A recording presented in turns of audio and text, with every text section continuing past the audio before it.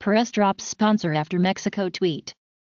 Force India Formula One driver Sergio Perez ends his relationship with a sunglasses manufacturer after its disrespectful tweet mocking his Mexican compatriots.